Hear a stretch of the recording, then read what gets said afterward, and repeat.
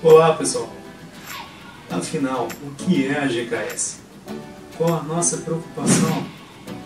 E mais importante, qual é a nossa missão? No final dessa série, você terá entendido todas essas perguntas. Mas antes de dar início, vamos começar analisando o conceito mais básico e fundamental da GKS. O que é a comunicação? O que é comunicação?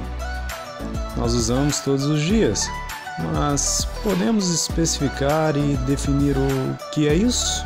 Nós definimos a comunicação como transmissão, interpretação e troca de informação. E se a troca de informação é porque existe mais de uma parte envolvida? Geralmente essas partes são dois seres humanos e o exemplo típico é uma conversa pessoalmente e olho no olho. Agora, você consegue imaginar como era essa conversa na época do Homem das Cavernas, quando sentavam ao lado da fogueira para contar o dia de caça?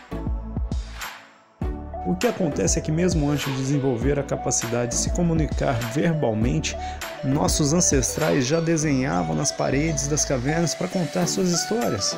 E isso significa que desde o início nós nos comunicamos verbalmente e não verbalmente.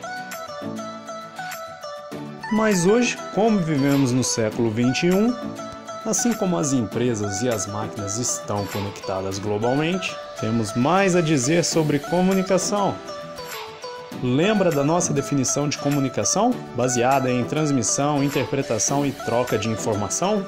Então, isso significa que a nossa interação com os computadores também é um tipo de comunicação. Claro, podemos dizer que essa comunicação talvez não seja tão cheia de vida, vamos dizer assim. Mecânica, entretanto, é bem parecida. Você clica em um botão, o computador interpreta e te retorna um resultado. E aí, o que você acha sobre a nossa definição? Qual será o próximo grande passo na comunicação? Fiquem ligados e assistam os nossos próximos episódios.